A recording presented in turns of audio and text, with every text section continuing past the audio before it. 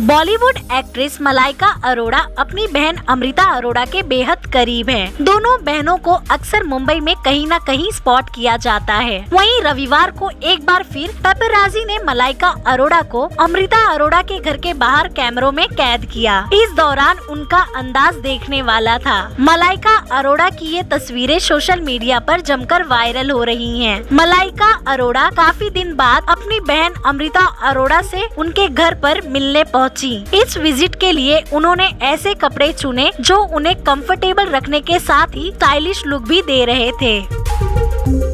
मलाइका अरोड़ा ने white colour की short length dress पहनी थी, जो कॉटन बैंड मेड थी। अगर फैब्रिक की बात करें तो मानसून के चलते बनी ह्यूमिड कंडीशन को देखते हुए मलाइका की ये चॉइस बिल्कुल सही रही। तस्वीरों में आप देख सकते हैं कि मलाइका अरोड़ा ने व्हाइट ड्रेस पहन रखा था और मास्क लगाया हुआ था। मलाइका ने ब्लैक कलर के म्यूल्स पहने थे, जिन पर ब्राइट कलर का फ्लोरल प्रिंट था। वही उनके हाथ में डार्क ब्राउन कलर का लेदर मेड क्लच पर्स देखा जा सका था। अमृता अरोड़ा के घर पर मलाइका अरोड़ा के साथ उनका बेटा अरहान और अर्जुन कपूर भी थे। मलाइका अरोड़ा ने पेपराजी को अलग अलग अंदाज में पोज भी दिए। मलाइका का ये अंदाज देखने लायक था, जिसे उनके फैंस बेहद पसंद कर रहे हैं।